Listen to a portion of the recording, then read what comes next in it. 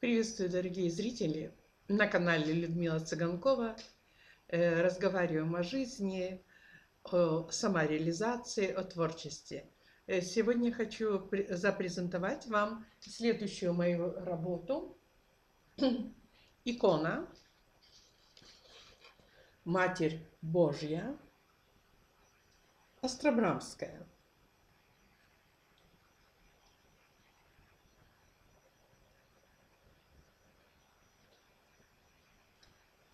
Написанное на доске грубостью 1 сантиметр, размерами 30 на 40 сантиметров.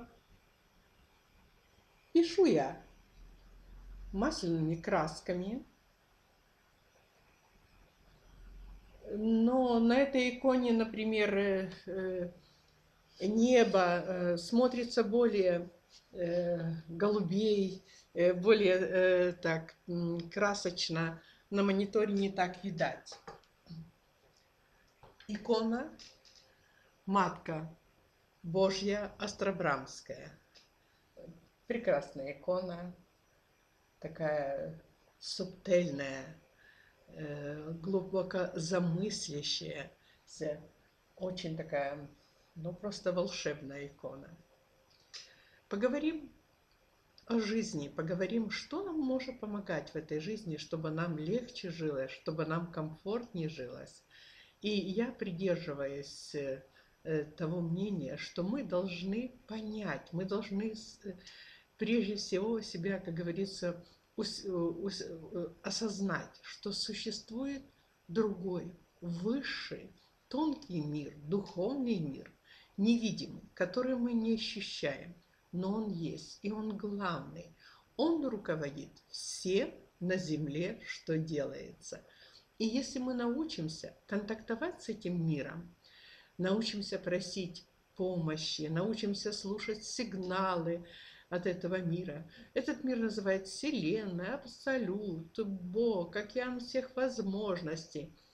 Это даже не имеет значения. Самое главное, вы должны понять, что существует мир, который является нашим, ну, отцовским домом. Оттуда мы пришли, и туда мы вернемся. Так говорят везде, в костелах, церквях, мечетах. И мы должны уже сейчас научиться контактировать с этого мира, с этим миром. Мы должны быть благодарны ему, потому что благодарность, прежде всего, нам дает такую, ну, более эффективную, э, тогда получается контактирование со Вселенной. И, например, икона. Икона является окном в этот мир – и мы все уже давным-давно научились контактировать с этим миром, например, через икону. Молимся перед иконой, просим о помощи, и таким образом мы контактируем. Мы просим Вселенную, Абсолюта, Бога о помощь, о совет, э, об опеке, заботу, которая, может быть, может он проявить. Конечно, Э, существуют еще другие методы, не только моление, медитация, э, творчество.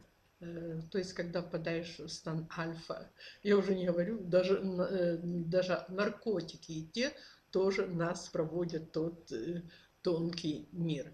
Ну, конечно, не надо уже использовать такие средства, которые потом пагубно э, будут сказываться на нашем здоровье, а мы должны найти э, метод, э, методики, средства, которые будут полезными, которые будут более эффективными. И это моление, молитва, это медитация, это релакс, это прежде всего мы должны Э, почувствовать, что мы части этого мира и душа, э, все мы знаем, что мы имеем душу, но мы должны научиться чувствовать ее, научиться слушать ее.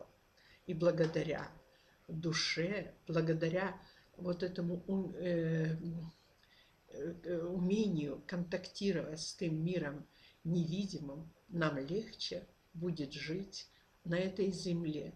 Мы будем знать, что о нас Вселенная заботится, что это наш дом. Всего хорошего. До свидания.